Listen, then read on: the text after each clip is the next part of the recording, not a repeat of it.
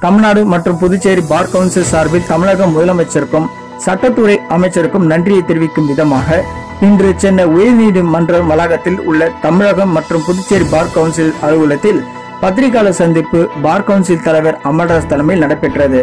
அப்போது பேசிய தலைவர் அமர்ராஜ் அவர்கள் தமிழகத்தில் இளம் வழக்கறிஞர்கள் மாதம் மூவாயிரம் வீதம் இரண்டு ஆண்டுகளுக்கு வழங்கப்படும் என்று அரசாணை வெளியிட்ட தமிழக முதலமைச்சர் அவர்களுக்கும் சட்டத்துறை அமைச்சர் சி. சண்முகம் அவர்களுக்கும் நன்றியும் வரவேற்பும் தெரிவித்துக் கொள்கிறோம். மேலும் இந்த இளம் வழக்கறிஞர் ரூபாய் மூவாயிரம் வீதம் இரண்டு ஆண்டுகளுக்கு பெற விரும்புவோர் அரசாணை அரசாணையில் வழிகாட்டுதல் முறையே பின்பற்றப்படுகிறது.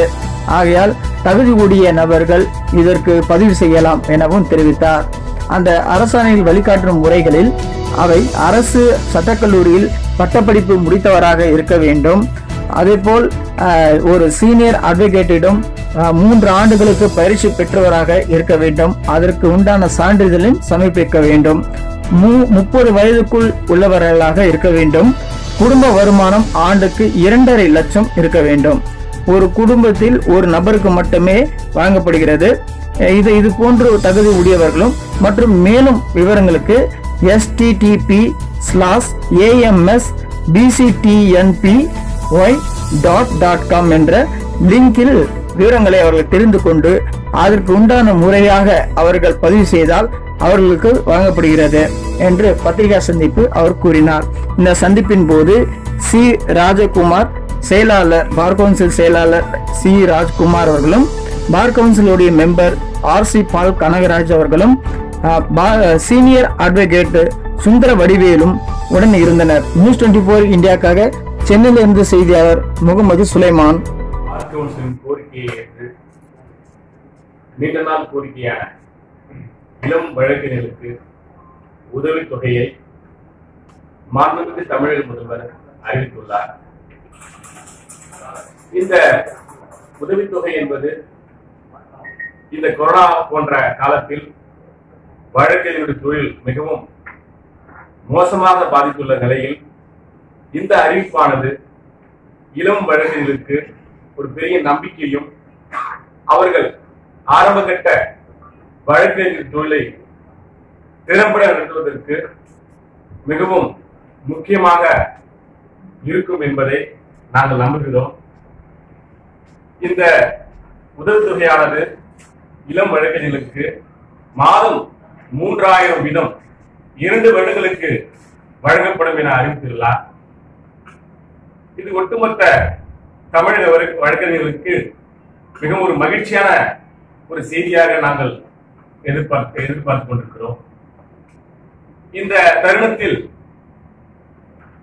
தமிழகத்தினுடைய மாண்புமிகு முதல்வர் எடப்பாடி கே. பழனிசாமி அவர்களுக்கும் மாண்புமிகு சட்டத்துறை அமைச்சர் சி வி சண்முகம் அவர்களுக்கும் தமிழகத்தினுடைய ஒட்டுமொத்த வழக்கறிஞர் சார்பாக எங்களுடைய நெஞ்சார்ந்த நன்றினை இந்த தருணத்தில் தெரிவித்துக் கொள்கிறோம். இந்த அறிவிப்பினை தொடர்ந்து தமிழக அரசு ஒரு அ- அரசாணையை பிறப்பித்துள்ளது. அந்த அரசாணையில் இந்த இளம் வழக்கினுடைய தகுதிகள் அதாவது பயனாளிகளுடைய தகுதியை வந்து ஒரு கைட்லைன் கொண்டு ஒரு அரசாணையா நேற்றைய தினம் வெளியிட்டுள்ளது.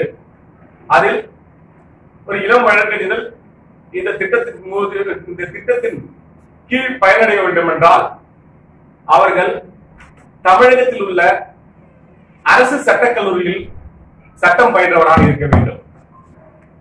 அவர் தமிழகம் மற்றும் புதுச்சேரி பார் கவுன்சிலில் தன்னை வழக்கறிஞராக பதிவு செய்திருக்க வேண்டும். அவர் இந்திய பார் கவுன்சில் நடத்தும் தகுதி தேர்வினை தேர்ச்சி பெற்றிருக்க வேண்டும். அவர் பதிவு செய்த வருடத்திலிருந்து மூன்று வருடத்துக்குள்ளாக இருக்க வேண்டும். அதுக்கு மிக அதுக்கு மிகாம் போகக்கூடாது. அந்த பயனாளி அந்த இளம் வழக்கறிஞர்களுக்கு முப்பது வயதுக்கு உட்பட்டவராக இருக்க வேண்டும். அவர் தமிழகத்தை இருப்பிடம் இருப்பிடமாக கொண்டவராக இருக்க வேண்டும். அவர் மூத்த வழக்கறிஞரிடம் ஆறு மாதத்துக்கு ஒரு முறை ஆக்டிவ் பிராக்டிஸ் அதாவது மூத்த வழக்கறிஞரோட உடனோட அவரோட பயிற்சியாளராக ஆறு மாசம் ஒரு முறை அந்த உறுதி சான்றிதழை வந்து பார் கவுன்சிலுக்கு அவர் எப்படி சிக்ஸ் மந்த் கொடுக்கப்பட வேண்டும் இந்த தொகை மூணாயிரம் என்பது மாசம் மூணாயிரம் என்பது இரண்டு வருடத்துக்கு மட்டுமே கொடுக்கப்பட வேண்டும்.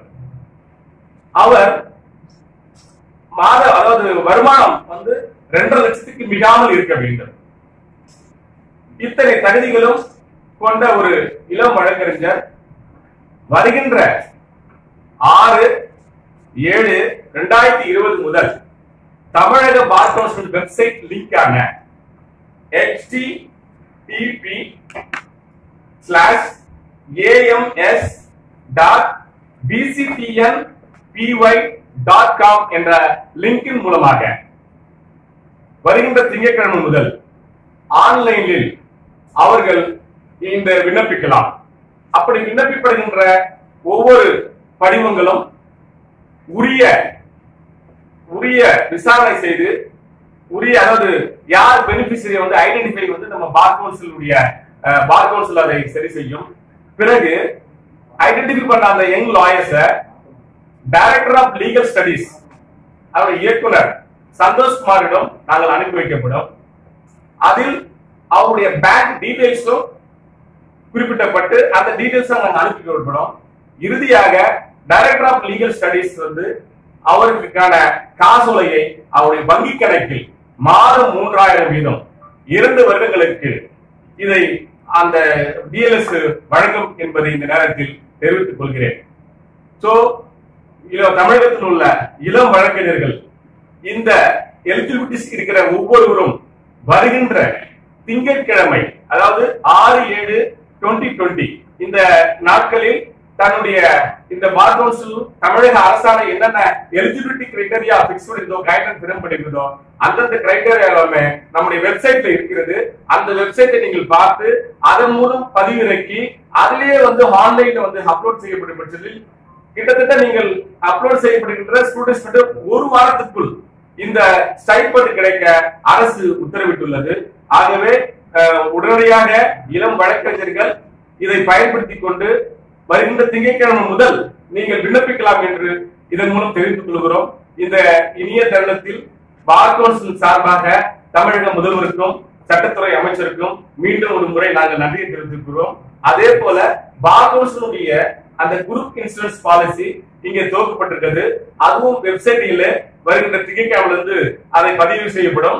அதை நீங்கள் பதிவிறக்கம் செய்து அதற்கான அந்த வைப்பு தொகையை நீங்கள் செலுத்தி அந்த இன்சூரன்ஸ் ஸ்கீம்ல நீங்க மெம்பராக வேண்டும். கொரோனா போன்ற காலத்தில் இந்த இன்சூரன்ஸ் பேருதவியாக இருக்கும் என்பதை தெரிவித்துக் கொண்டு உங்கள் அத்தனை பேரையும் இந்த வாய்ப்பை பயன்படுத்திக் கொள்ளுமாறு தமிழகம் மற்றும் புதுவை பார்க்கும் சார்பாக கேட்டுக்கொள்கிறோம். கண்டிப்பா. நீ கேட்கறதா இருக்க. எனக்கு ஒன் பை ஒன் கேளுங்க ஒன் பை ஒன் இப்ப நம்ம தமிழக அரசு சட்ட கல்லூரியில வந்து ஒரு